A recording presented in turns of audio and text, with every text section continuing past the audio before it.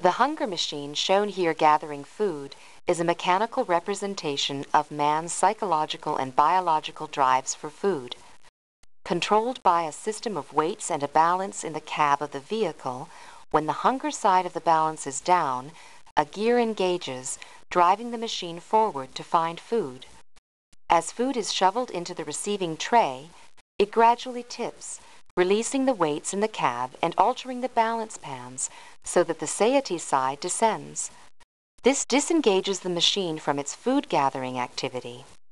Similarly, man's hunger is controlled by a balance between the hunger center and the satiety center in the hypothalamus of the brain. When man is hungry, cues from the hunger center stimulate searching and feeding behavior.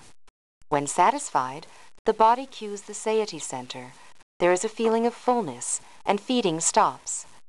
Likewise, the thirst machine is a mechanical representation of a man's psychological urge to drink. When the machine is thirsty, as shown here, the primary side of the balance is down, and the water tap opens. The tank fills, and via pulleys begins to raise the primary arm.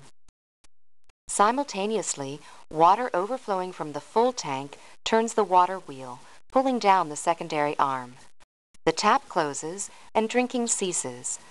On a similar balance principle, the thirst mechanism in man is controlled by the hypothalamic thirst center, or primary arm, and the cerebral cortex, or secondary arm, which regulates the body's intake of fluids.